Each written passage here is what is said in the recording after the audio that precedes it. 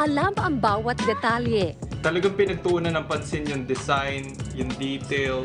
Pamilyar sa iba't ibang klase. At updated sa kung ano ang bago. Kung sneakers ang pag-uusapan, hindi papahuli ang 24-year-old na si Randrel ng Marikina City.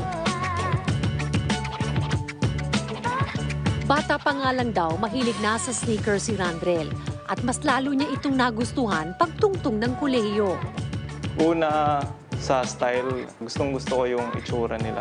Pangalawa, yung mga story or history behind sa bawat sneaker. Taong 2017, pinasok niya ang mundo ng online reselling ng sneakers. Tapos may mga pinapanood kasi akong sneaker reseller sa US tapos parang na-inspire nila ako mag-resell. Tapos yun, sinubukan ko kasi ah, may pera sa sneaker reselling. Lalo kung makukuha mo yung mga limited na sneaker, yung mga pinagkakaguluhan ng mga tao. Kaya yun, nag-decide ako sneaker yung business ko.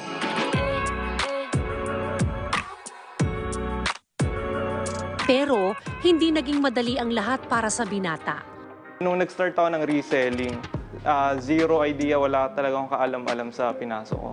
So unang naging struggle ko, saan ko kukunin yung mga sneaker na ibebenta ko. Ah, paano ko sila makukuha, tapos kapag nakuha ko na saan ko ibebenta, magkano ko ibebenta. So yun, yun yung mga unang struggle ko. Tapos yun, nalaman ko na lahat, nakabili na ako. Hanggang sa naisipan ni Randrel na gumawa ng isang YouTube channel kung saan nagbibigay siya ng iba't ibang tips kung paano ang sistema ng reselling ng sneakers.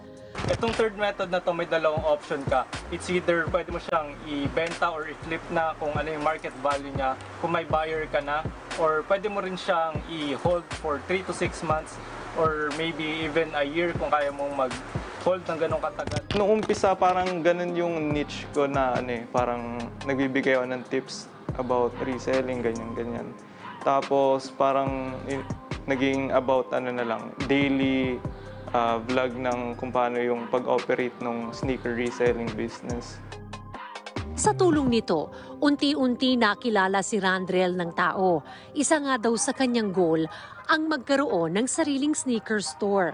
At nitong ang December 2020, binuksan ni Randrel ang kanyang kauna-unahang sneaker shop. Una kasi kapag may store ka, yung tao na yung lalapit sa'yo. Tapos kasi marami pa rin takot na bumili online. Mas gusto nila yung may nakikita, may nakikita physical na store na product.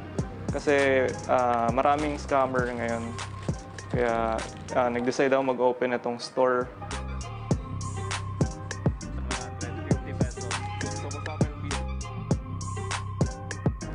So basically dito sa store namin, ah, binibenta namin yung mga bagong release ng mga sneaker. So kung naghahanap kayo nun, available yun sa store namin. Tulad na lang nitong sneaker na to, kalabas lang nito 2 days ago.